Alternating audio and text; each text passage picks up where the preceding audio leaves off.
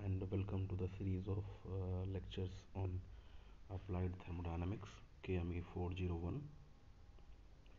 What uh, uh, we will be doing here is developing basic framework for very important device used in power plant which is known as boiler. For those of you who are watching this lecture series have to follow up the previous lectures delivered in the regular classroom. And uh, for a quick review we had uh, we had discussed uh, what is a boiler classification of boiler and uh, working of boilers. Uh, today we are going to develop some framework about this device which is boiler. And content for today is boiler mountings and accessories. What is boiler mounting? In boiler number of devices are used for its operation safe and uh, efficient operation. Devices used for control and safe operation of a boiler is known as mounting. Devices used for improving the performance of a boiler is known as accessories. Boiler mountings are necessary. Boiler mountings are necessary while the boiler accessories are optional.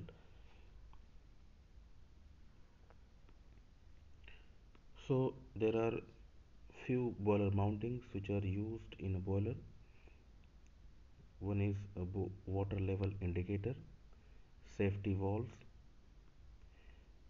fusible plug pressure gauge stop valve feed check valve blow off cock manhole and mud box. If you want to see these mountings in this Babcock and Wilcox boiler you can find water level indicator here. Safety valve you can find out here. Fusible plug you can find out here. Pressure gauge you can find find out here. Stop valve you can find out here. And there is a feed check valve which is known as also feed water inlet which you can find it out here then there is a blow of cock which you can find it out here which is written as blow of pipe. Then there is a manhole which you can find it out here. And there is a mud box which you can see it here. So you can see all the boiler mountings are used in this type of boiler Babcock Wilcox boiler. Now we are going to see each boiler mounting in detail. First one is water level indicator. It is used for knowing the level of water in a boiler drum. Water level water level inside boiler should not go below a certain limit. This is a very important point that means the water level should not go below a certain limit water level is seen through the glass tube water level is seen through the glass tube and basically this is water level indicator in which there are two tubes one is the glass tube another one is the metallic tube glass tube is uh, basically very strong which can withstand very high pressure and temperature. There are two control cocks. One is for regulating the steam and another is for controlling the water. In case of breakage of glass tube, the possibility of accident is prevented by providing two steel balls. So you must remember there are two glass two tubes one is glass tube another one is metallic tube and there are two control valves control cocks one is for regulating the steam and another is for controlling the water. And there are also two steel balls which will be preventing any possibility of accident. So if you want to see this diagram here you can see this is a boiler part and here this is boiler plate. And in this part you can see this is steam. And here the blue part is water. And then there is two gunmetal casting which is protruded from this uh, boiler plate. This one and this one. Then there is two uh, one is steam cock and one is water cock basically it is used to regulate the water and steam. In this position these two cocks are in open position.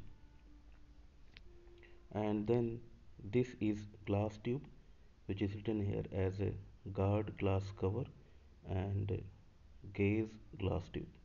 And this is hollow metal column.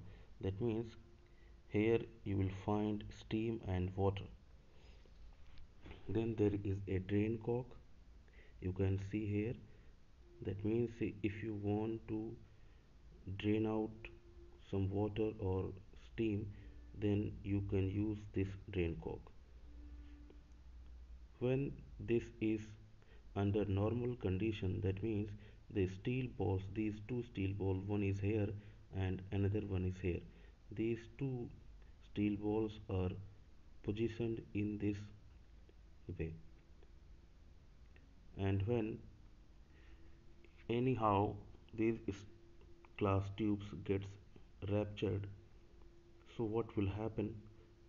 The pressure inside this boiler drum which is in equilibrium condition that means the pressure due to the due to its uh, high pressure steam will be rushing through this uh, through this uh, gunmetal casting hollow gunmetal casting in this direction right? And due to high pressure water will be rushing in this direction through this gunmetal casting. What will happen? Due to the motion of water these steel balls will be moving in this direction and this steel ball will be moving by the steam force in this direction. And these steam these steel balls will block the passage for this steam. And this steel ball will block the passage for this water so that the water will not go in this direction and the steam will not come in this direction that means this will be the passage for water and steam. So in this way you can see the water level through this transparent glass tube. But when it gets ruptured for the safety reason two steel balls are provided. So here this water level indicator is done. Now the next mounting is safety valve so what is safety valve as the name suggests safety is prime concern for the design of a boiler.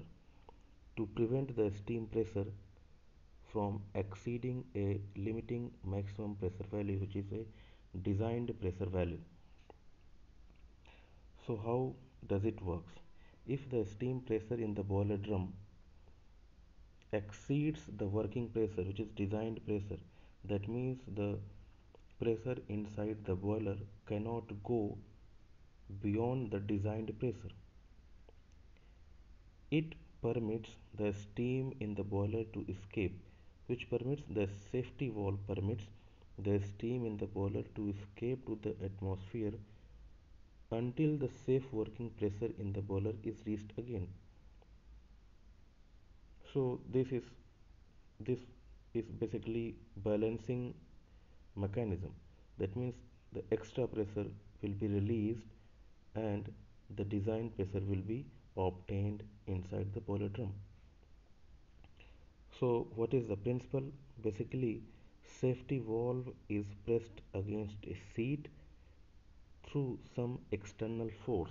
That means there is a equilibrium of two forces. One is the force due to the steam pressure and due to the external load. When the steam force due to the boiler pressure acting under the valve exceeds the external force the valve gets lifted off its seat allowing some of the steam to escape until the working pressure is restored again so there are number of safety valve. Basically it is two at least two safety valves which are prescribed by the Indian Indian boiler regulation. Right? That means you should use at least two safety valves. If you want to see what is where is where it is located where this safety valve is located safety valves are located above the steam space in the boiler as we have seen in the case of Babcock and Wilcox boiler. So you must remember its function and how does it work and where it is located and how many safety valves are used in a boiler. Next we come towards types of safety valves there are three four types of safety valves which are being used in a boiler. The first one is dead weight safety valve. You can see this is a boiler drum and over which this safety valve mechanism is used right? This is steam space of a boiler. That means steam is there and water is there. And due to and over which this is a bottom flange you can say in the gray color bottom flange and over which this is a this is a cover plate. Uh, cover plate carries this cast iron weights cast iron weights here and here in both sides and this is basically gun metal valve and you can see this is a weight carrier. And this is a gun metal valve seat. So this is a valve and this is a seat. Valve is sitting over this seat right? As the steam pressure is as the steam pressure inside this boiler space is less than or equal to the design pressure this safety valve this uh, gunmetal valve will be sitting over this valve seat right? Once the steam pressure exceeds the designed pressure once the steam pressure exceeds the design pressure what will happen? This steam pressure will exert the force over this valve. And due to this uh, steam pressure valve gets lifted. Valve gets lifted. As the valve gets lifted the steam will go from this pipe in this direction and it will get discharged towards to open atmosphere. And as the steam gets discharged through this discharged pipe the steam pressure gets decreased inside this space and uh, and it uh, equals to the designed pressure. So in this way this safety valve works. Dead weight safety valve. Why it is dead weight? Because some mass have been used as a dead weight we can say. This is a dead weight. Next is lever safety valve lever safety valve. Here again you can see this is a steam drum. Steam space of the boiler water and this is flange which is attached to this uh, steam drum. Then there is a valve sitting over this valve seat. Then you have you can see this is a fulcrum. Over this end some movable weights are hanged right? And due to this uh, weight a weight is acting over acting through this hinge strut and the weight is acting downward and steam force is acting upward. When this is this in this space the pressure is steam pressure is equal to the designed pressure will be equal to the load which is acting downward. But once this steam pressure exceeds the designed pressure this valve will be lifted. And as the valve will be lifted up in the upward direction some steam will go out into the atmosphere. And when the some steam went to atmosphere the pressure decreases inside this space which is which is way lower than the design pressure.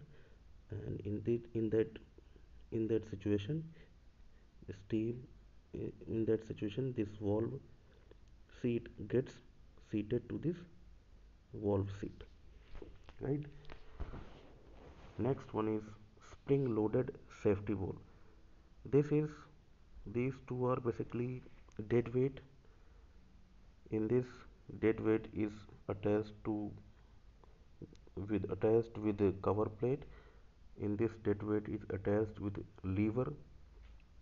In this case the spring loaded. That means the load is acting here as a spring force right?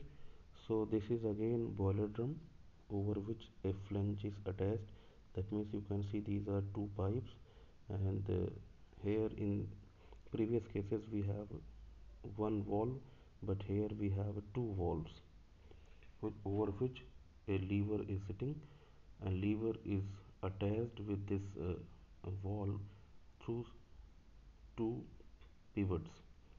And as the steam pressure is equal to the design pressure this steam this this valve will be seated on uh, over these valve seats. As the steam pressure gets exceeded from the designed pressure this valve gets open and the extra steam will be going towards atmosphere. And in this way these safety valves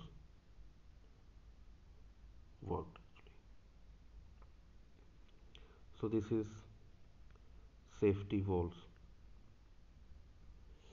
next one is fusible plug. What is a fusible plug?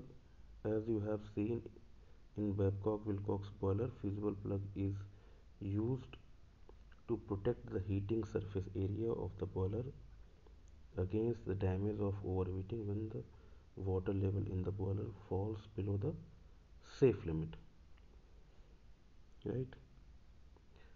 Where it is located it is generally inserted in the crown of the furnace or in the combustion chamber at the lowest permissible water level.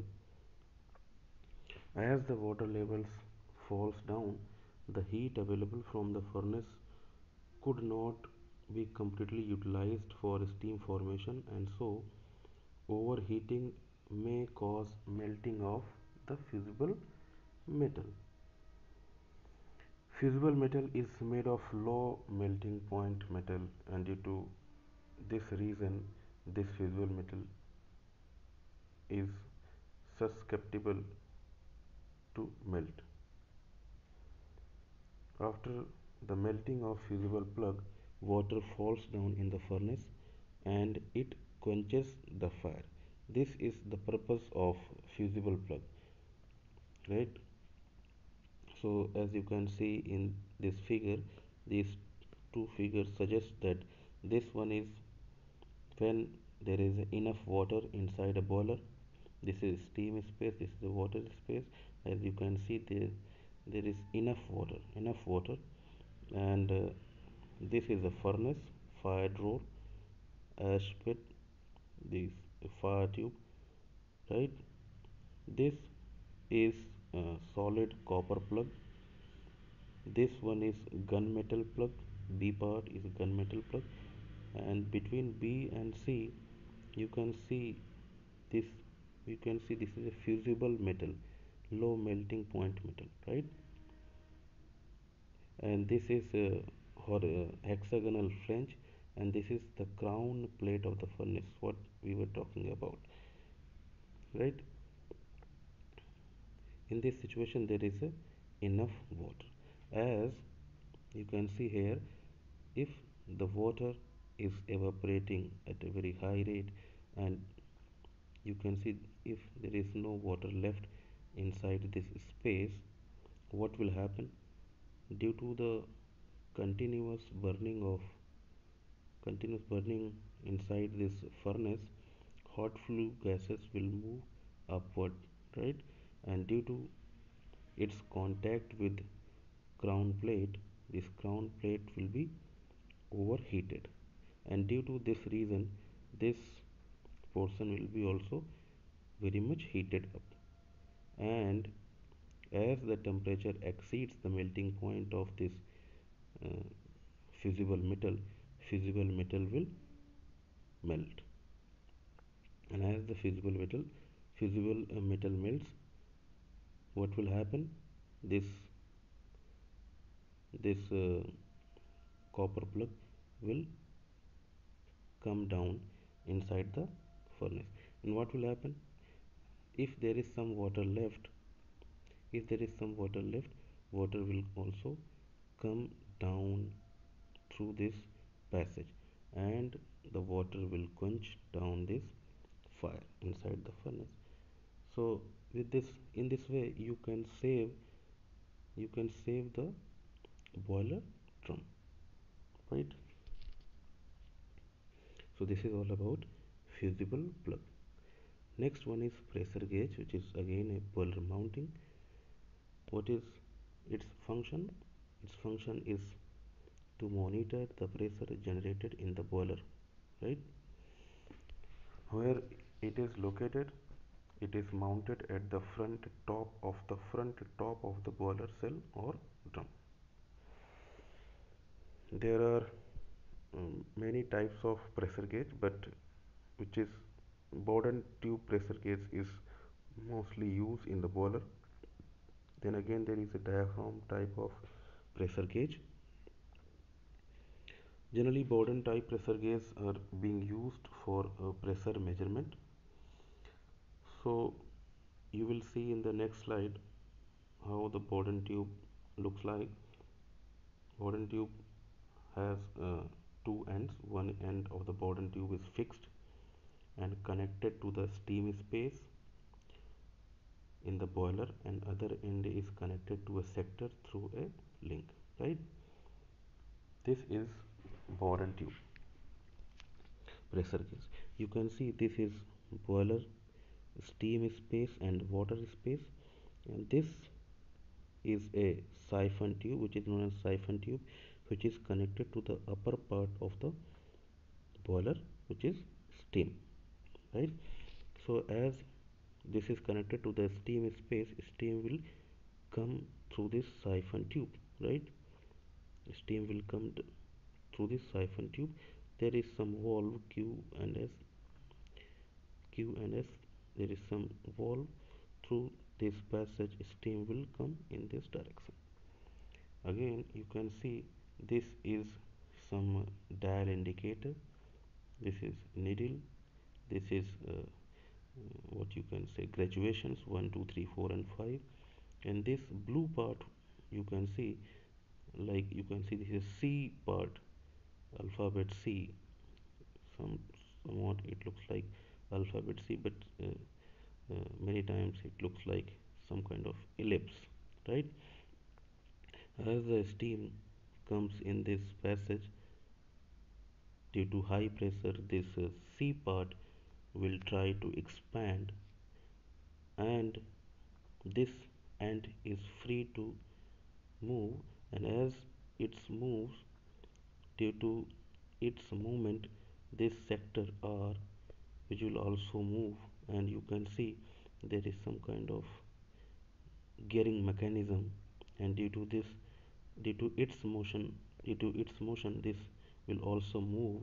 And as it's move this needle will deflect some uh, some kind of reading. And this is calibrate this reading is calibrated this reading is calibrated with pressure change change in pressure right? So in this way you can uh, measure the steam pressure through this gauge which is known as Bourdon pressure gauge. Next one is stop valve what is stop valve its function is it is used to regulate the flow of steam from the boiler from the boiler towards the prime mover that is turbine right? So it is located generally on the highest part of the boiler shell. This is boiler right? This is boiler this is steam space this is water right? So this is stop valve you can say you can see this is steam pipe discharge pipe and this will go towards turbine section or prime mover steam engine section right? This is steam clearly you can see.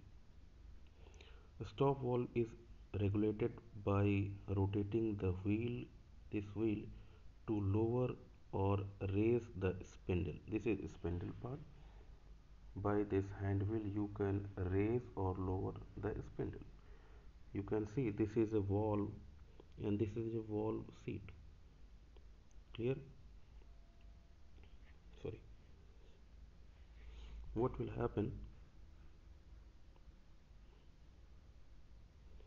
What will happen as the steam pressure reached the design pressure or the pressure at which you want to send the steam to the prime mover right? This hand wheel will be rotated in such a way that this valve moves in the upward direction and in the duration the steam will leave from this boiler drum towards prime mover through this steam pipe right? So next one is feed check valve what is feed check valve as the name suggests feed to the boiler. That is feed water. Clearly to control the supply of feed water to the boiler from the feed pump and to prevent any other water escaping back from the boiler in the event of failure of feed pump or the pump pressure less than the boiler side that means this is a one way valve it is placed on the boiler shell slightly below the normal water level it is a non-return valve that is one way valve at the end of the delivery pipe from the feed water pump. It has a check valve whose opening and closing are regulated by the position of the spindle. Feed check valve permits unidirectional flow of water from feed pump to the boiler shell. Under normal running condition, pressure of feed water coming from the pump is more than the pressure inside the boiler. During the non-working of feed, feed pump, pressure in the boiler shell is more and so the check valve gets closed. This is feed check valve. This is open position, this is closed position, right? So what will happen? Suppose suppose uh, you are filling water from the feed pump to the boiler, right? So what will happen? The pressure through the feed the pressure inside this boiler is less right and the pressure of water coming through the feed pump is large in that direct in in that direction what will happen? What will happen? This check valve you can say you, you can see in a green color it will move up in this direction due to the rotation of the hand wheel. And due to which this water will move through this passage to the boiler now what will happen? When the boiler drum is filled up to certain level which is desired water level of water the uh, in this uh, boiler drum what will happen? You will close you will lower this uh, spindle by the rotation of hand wheel and it will be coming downward. It will be coming in the downward direction. And what will happen? You will stop the feed feed pump and due to the hydrostatic pressure the water the pressure inside this boiler drum will be now more. And due to this due to this reason the water will come in this direction. And since this is a non-return valve what will happen? It will the force will be acting in this direction. And due to this reason also this check valve will be closed. So you can see this check valve feed check valve is one way valve so this is all about feed check valve next one is blow off cock blow off cock its function is it is used for periodically cleaning by discharging the water and sediments from bottom of the boiler because uh, blow off cock is used to clean or discharge the water so its location should be at the bottom of the boiler. Blow off cock is fitted to the bottom of the boiler shell. You can see these two situations. This is steam space water space and this is blow off cock right? This is blow off cock this is a plug. So when this white space you can see here if it is in this position that means it is stopping this water from uh, coming out from this boiler drum right? In this position this plug is in such a way that the water may drain out. So this is blow off cock which is used to clean uh, or discharge the water periodically right? Cleaning the sediments which may be present in the water. The next one is manhole and mud box what is the function of manhole manhole is required for cleaning and inspection and sometimes repairing of the boiler? Manhole is provided for the entrance of a man inside the boiler drum right? Mud box is a collection chamber for collecting the mud. It is located basically manhole is provided on the boiler shell at a convenient place through which through which a person can go inside and clean the sediments and other things right? So this is all about uh, boiler mountings. Next part will be boiler accessories